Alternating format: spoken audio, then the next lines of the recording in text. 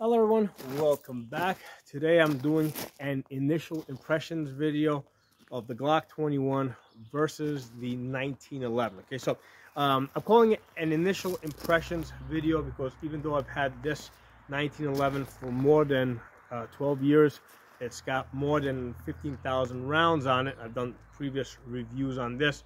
Um, this is this uh, Glock 21 I just recently built, and this is my first Glock 21. Okay, uh, so it's initial impressions more from the side of the Glock 21, and, and the reason why I, you know, like initially, like as soon as I built this thing, I'm like, wow, I, I seriously got to do a video on this, is because as soon as I picked up this gun, this gun felt heavy. Uh, and then I was like, wow, I don't remember my 1911 feeling that heavy. And then I picked up the 1911 and it, it, it didn't feel so heavy, but then I put it on the scale, right? So when I put it on the scale over here, empty, uh, the 1911 is actually much heavier, okay? So the G21 unloaded is one pound, 10 ounces, okay? Uh, versus the 1911 unloaded, uh, two pounds, six ounces, okay? So, uh, you know, initially I was like, well, okay, how, how is this happening? Okay, uh, why is the G21 feel like it's heavier than the 1911, although the 1911 is is basically like what a full, almost a full pound heavier. Um, and it the, the reason is because the, the the G21 is more top heavy, right? You've got this big slide over here on top of the plastic frame uh, which basically, if you hold the gun like this, like it seriously wants to like, you know, fall over versus the 1911, which has, you know, the, the bottom frame is, is more, you know, is metal. You know, it doesn't, it's not so top heavy. It feels more well balanced when it's, you know, when, when, when you're holding it in your hand. But the, uh, the difference is when you put in a loaded magazine, okay, because when you, because remember the, uh, the Glock 21 uh, you know, 13 round magazine, when you put this into the gun, all of a sudden it balances out because you've got now, you know, 13 rounds of 45 ACP, you know, the gun comes into balance. So that, that's uh, something that really stood out for me versus with the 1911, you only get an eight round magazine, so it's not adding that much weight. So that doesn't really affect the, the, balance of this gun. Um, so that's something interesting. Okay? I found that really, really interesting. Um, and more than anything, that's really the whole point of this video. Although we're gonna, we will do a, a, a bunch of more things here. Uh, but let me do this. Um, what I did here is, let, let, me zoom you guys in a little bit and um, let me pause the camera. Okay, so on this table here, first gun, uh, the G21 1911. By the way, that is a Taurus 1911. Uh, the G21 is an aftermarket. I won't say its name. The This one over here is a uh, Glock 22. Uh, that's a factory frame. The only thing that's uh, that's aftermarket on that is the slide. Um, I, I, chose to do it this way. So that's got an aftermarket slide on it so that I can uh, so I could put an optic on it. Uh, and over here is a a G17. Okay, you guys seen this G17 before? Okay, so we're gonna be shooting um, these four guns today, and I'm going to tell you, you know, basically we're looking to, we're going to be looking at the recoil and how much the gun moves around when I'm shooting it one-handed in my offhand. But before we get to that, um, on this chart over here, what I did is uh, I listed the four guns, and uh, on the left, uh, where it says empty, I weighed the gun without a magazine, and over here, uh, full, right? So the G21 came in at uh, one pound, 10 ounces. Now that's, remember, that's ounces, right? 10 ounces. It's not 1.10 pounds because that means something different. It's one pound, 10 ounces, uh, 16 ounces being a pound. Okay, so, uh, and then when you, when you load it up, the weight jumps up to uh, two pounds, six ounces, okay? Versus the, G, the 1911, unloaded, it starts off heavier, two pounds, six ounces, right? But then it because it takes a, a smaller magazine with um, with only eight rounds, when you throw the magazine in there, the weight only goes up a little bit. So uh, it only goes up to two pounds, 13 ounces, right? So in, in the end, uh, the, the, the, the weight difference between these two is not tremendous. Uh, it's only about seven, seven ounces. Uh, the, the big difference, of course, being the distribution of the weight with the G21 right up here, more of your weight is in ammunition uh, versus, uh, you know, versus the, the, frame of the gun, okay? Uh, then, uh, for comparison's sake, we got the G22, um, unloaded, one pound, five ounces, all right? And then loaded, um, it uh, one pound, 15 ounces, okay? All right, so that's, and then uh, below the G17, one pound, six ounces, unloaded, and then one pound 15 ounces uh, when it's loaded. Now, interesting, the G17 and the G22, right? Even though the G17 started out a little bit heavier, and that has to do with the with the um, uh, with the slide. I'll show you guys in a minute. Uh, when in the end they came out to exactly the same, um, and, and, effectively speaking, you could just call them the same. Right? You know, um, there's going to be a minor difference. Uh, I'll show you right now, right now what the difference was, just so that we know what we're talking about. Let me put you back on the. Um, so taking a closer look, between the, the G22, which is a 40 cal, versus the G17. The this one's got more cuts in the in, in the slide, so that's why this gun basically started out lighter at one pound five ounces versus the G17 here, that started out uh, one pound six ounces. So this started out an ounce heavier.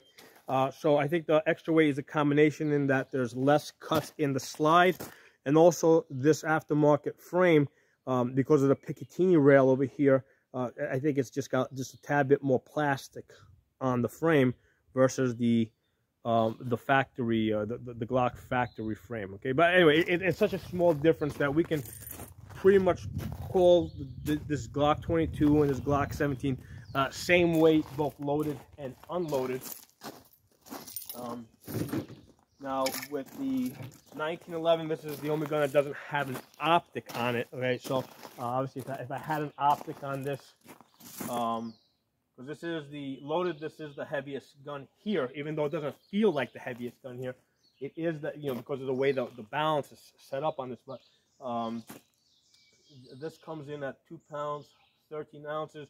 Uh, this would probably go up a couple of ounces if I had an optic on this. I considered putting an optic on this, uh, but basically I'd have to get it, I'd, ha I'd have to send it out to get cut, to get cut, and they want $200 just to cut this, uh, and then I don't know how good of a job they're going to do, uh, and then there's an issue of what optic am I going to put on here, you know, because it's a thinner slide, would I have to put a micro optic on here?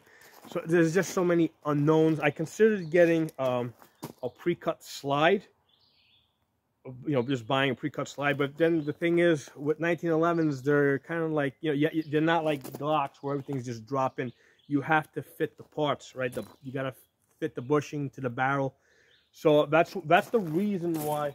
Well, actually, that's part of the reason why I ended up doing the the G20, the G21 here, because I wanted a, a 45 ACP with an optic, right? Because sh shooting is a scene thing. I've said this before. The scene part is the most important part, and the optic helps me see better and you know shoot better.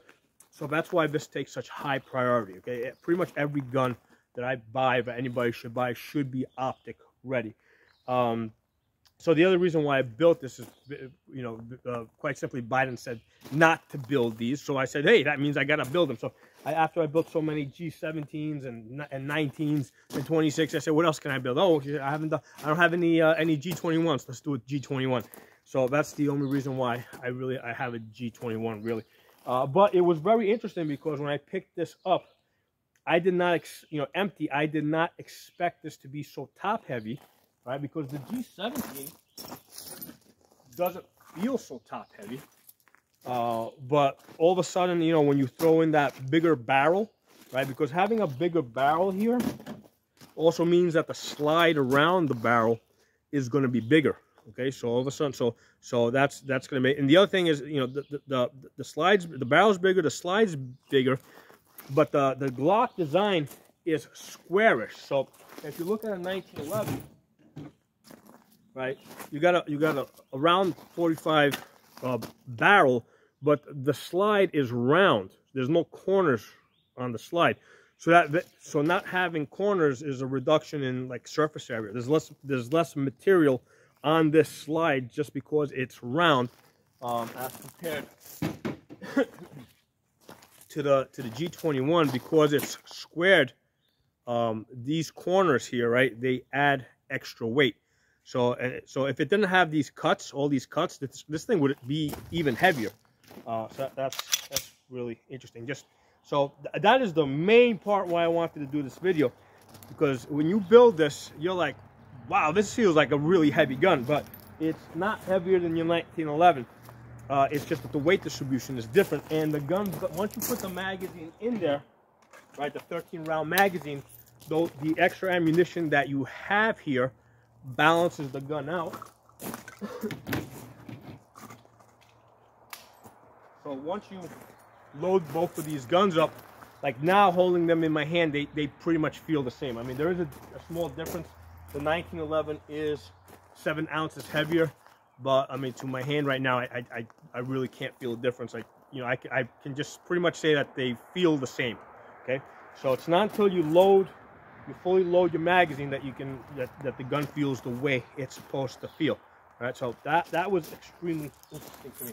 Um, we're to do. Take this out take this out. So, uh, put this guy back where it belongs in, this, in its order. All right, so what I'm to do now is I'm going to fire um, five rounds out of each of these guns in my left hand, one-handed, okay? The reason why I'm doing it in my, because I'm normally right-handed, I'm doing it in my left hand uh, so you guys can, can pay attention to the recoil, right? You'll be able to see it better uh, if I'm holding it one-handed. You'll see how much movement there is. And we're to go down the line and we're looking for a, a difference in recoil. You know, or, or difference in movement, which, which may or may not be noticeable. If it's not noticeable in the video, then it's not noticeable. That means, you know, it's not, if not, if I'm not coming offline, um, that, you know, that, that's what I, that's the ideal situation, right? When I'm shooting the gun and it's not coming offline. Right Spot here. All right, so we're gonna start with the Glock 21. Let's lock the gun open. All right, so we're not, we're not, I'm not gonna load the whole magazine. I'm just gonna do five rounds. This way I can quickly go down the line and you guys can compare, quickly compare one to the other. Rather, if I fire too many shots, you kind of forget what happened earlier, okay? So, so you guys are in the camera there. That should be good right there. All right you know what? Let me see, you should be able to see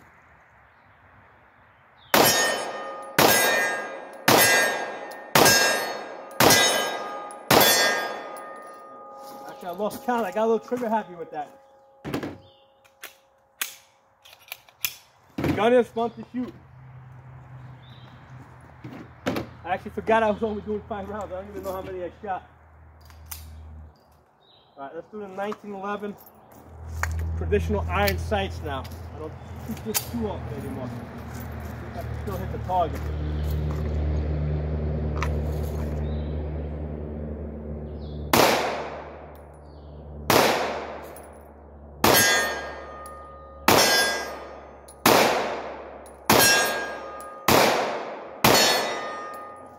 Definitely not as many hits.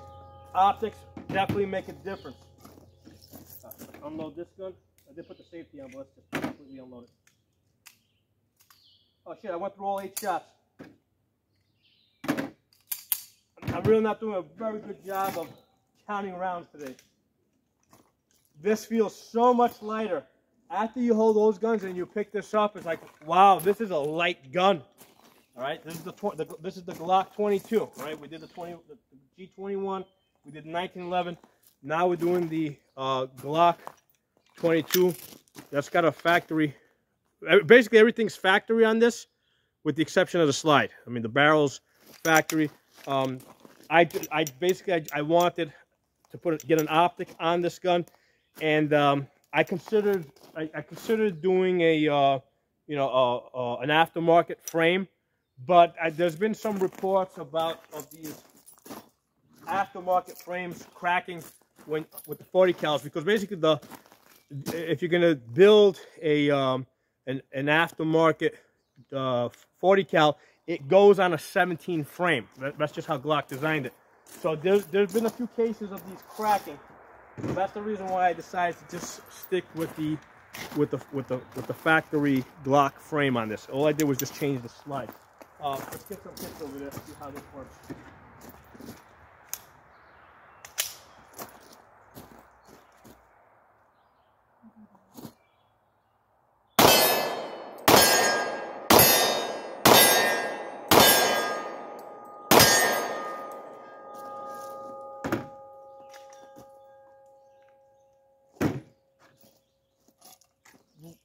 recoil kind of felt safe to me, um, quite honestly. Now, uh, that's shouldn't be too surprising because the 40 cal actually has more energy.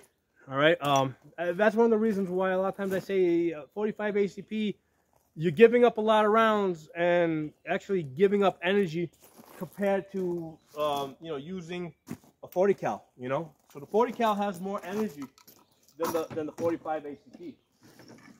All right, let's do the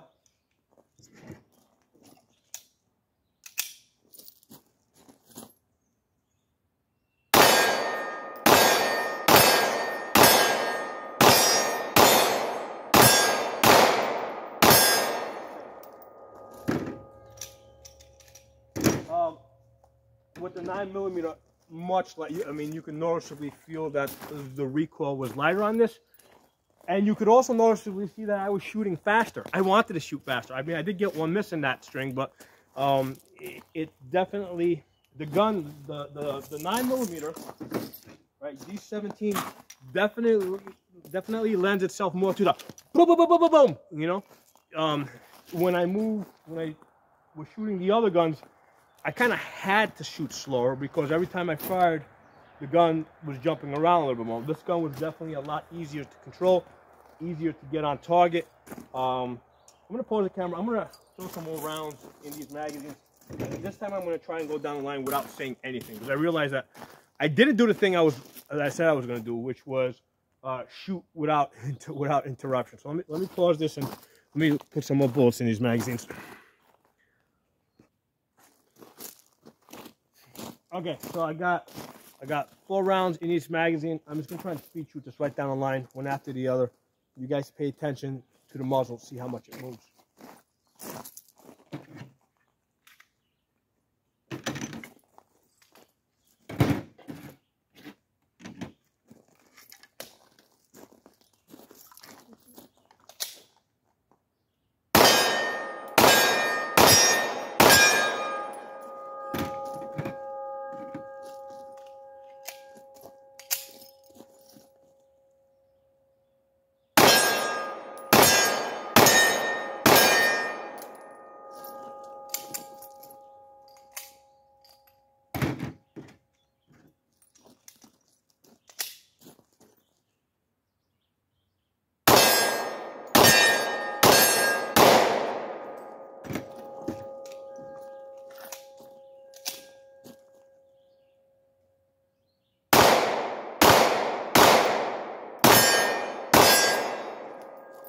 Thought I sucked at the nine, but I was a little bit off. But anyway, um, as far as the recoil, between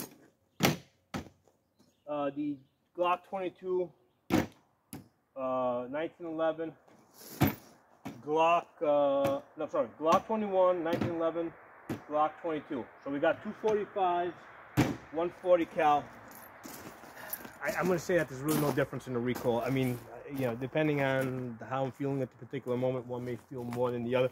But when I get to the, when I get to the, uh, the nine millimeter, definite difference there. Even though my concentration was a little bit off, and I got some misses on that last one over there. Uh, generally, I, I, am gonna, uh, I get more hits with the, uh, you know, with the, um, what do you call this? With, with the with the 17 shooting the nine millimeter. a couple more. Um, and again, if you pay attention to how much the gun moves, that's what's really going to give you the, you know, because I know that I was just trying to concentrate on moving down the line and making sure the guns were unloaded. that I think I lost my concentration on that last one.